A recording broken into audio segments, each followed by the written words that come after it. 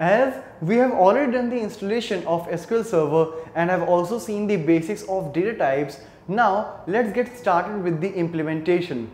In this video, we will see how we can open, connect with the SQL Server and we'll see how can we create a new database, can create a table and how to enter the data in the table. And we will do everything in the GUI mode. In order to start working with the SQL Server, First of all, we will have to open the Management Studio.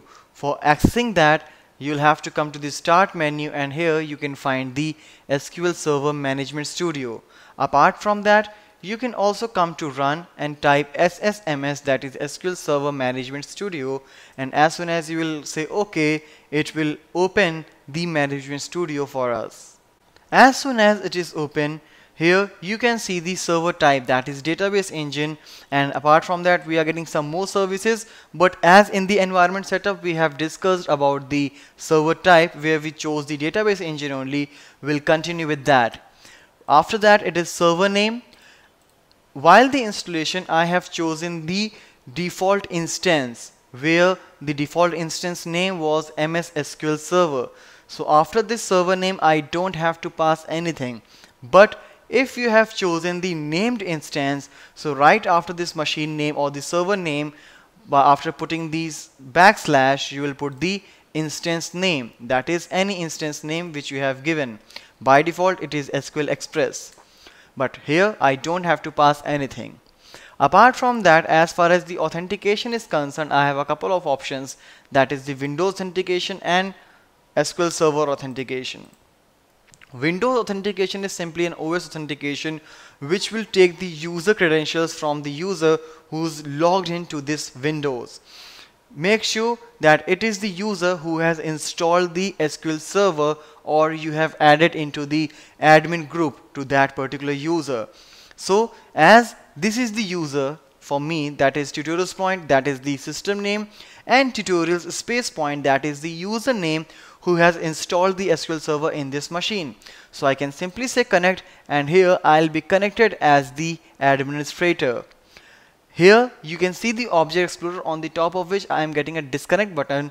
I am log logging out again and when I click to connect this time I will go for the SQL server authentication where it will ask the username and password from me and as the, in the installation time we have chosen the mixed mode which means the SQL Server authentication and Windows authentication both will be applicable. So here in SQL Server authentication uh, the default username is SA that is the system administrator and the password you will have to enter the same password which you have entered by the time you have installed this SQL Server. Now let's say connect. So as you can see now it is being connected as the SA. Make sure in both the ways you will be connected as the administrator so any authentication will not be a problem. Means you will be able to do whatever the thing you want to do. You are authorized to do each and everything right here. Now after this before getting started with writing a queries what we have to do is first of all we'll have to create a database and then we will create some tables and we'll put some data into it so that we will be good to start with the queries. Here in SQL Server, since it is a Microsoft product and like many other products, Microsoft has designed it quite beautifully that you can create the database tables and can put the data quite easily, which we are going to see just now. So here you can see a database. I will simply right click over it and will say new database. So what you can do, you can give any name here like first DB alright and uh, it will create a couple of files for you. One is the data file in which the major data would be stored and log file in which the recent DMLs that is whatever the insertion updation you will do will be written. And here is the location of the database. So let's say OK without making any changes.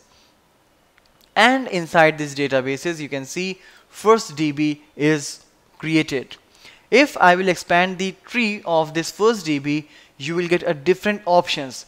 But initially, we will focus only on the tables where we can create the structure we can store the data and then later we can make the queries as well so in order to create the table I will right click over the table and will say a table and as soon as I will do that I will get this screen which will ask me the column names which I want to be there in a particular table. The data types in which we will tell which particular type of data I want to store and allow nulls. By default you can enter a null in any particular column but if you will check that that means you are allowing. And if it will be unchecked it means you are not allowing a null to be there so let's take an example. Like here I'm creating a field like student ID and I want the student ID to be numeric non-decimal numeric. So I will simply say integer. I don't want any null there so I will keep it unchecked. Now similarly first name I want the varchar data type would be there.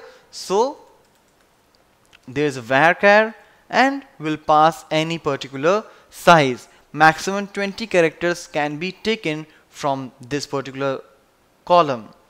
If you want allowed nulls you can but for the first name I am not allowing any null.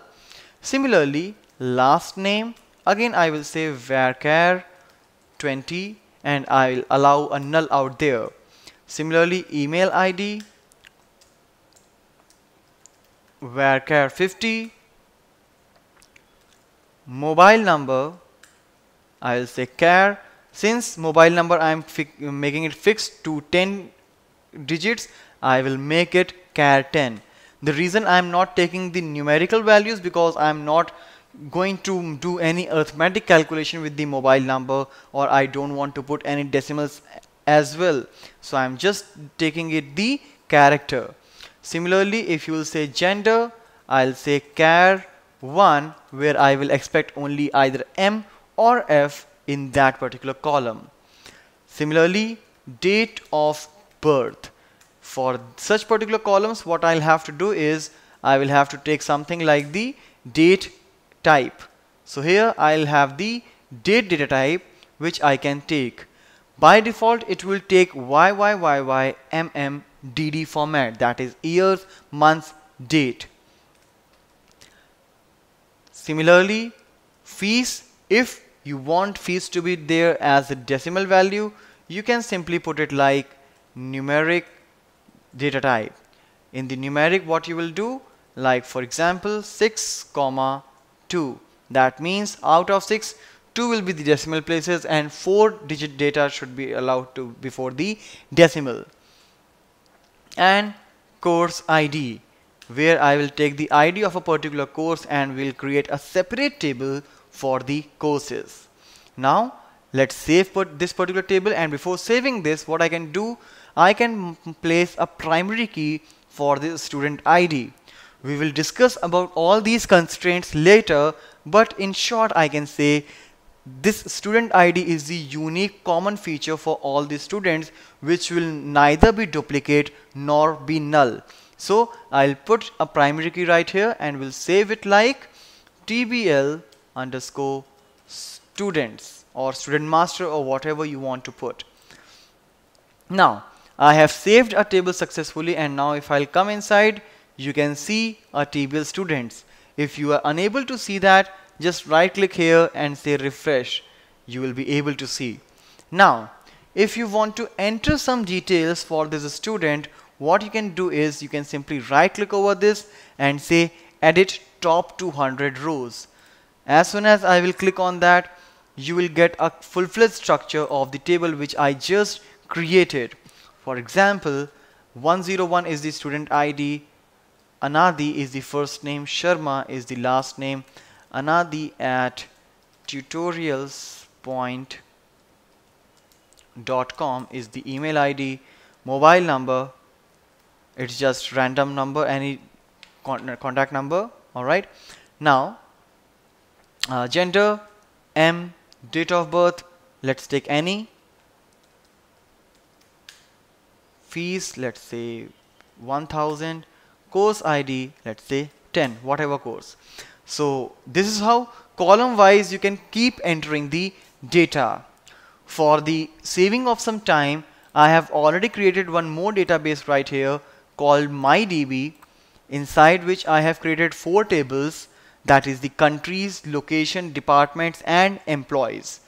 Country is a very small table inside which I have added some countries which will give the list of some few few countries I have used in my database like 1 2 3 India USA UK similarly on the, those particular countries I will have some locations where maybe my company office would be there so in the location tables I have entered the location ID to 1 to 7 different city names and the country ID make sure these are the country IDs that means 1 for India 2 for USA 3 for UK and here you can see 1 2 3 only. Alright so in such particular way we will retrieve the data which I will discuss later.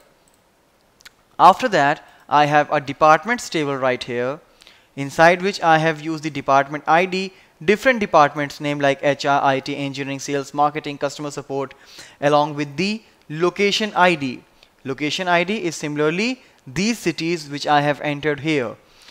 And finally there is an employee who would be working in these departments.